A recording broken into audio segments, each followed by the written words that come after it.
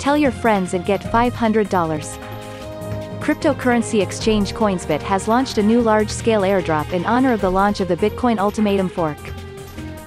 Anyone can get $500 in Coinsbit Bitcoin Ultimatum Token, CBU.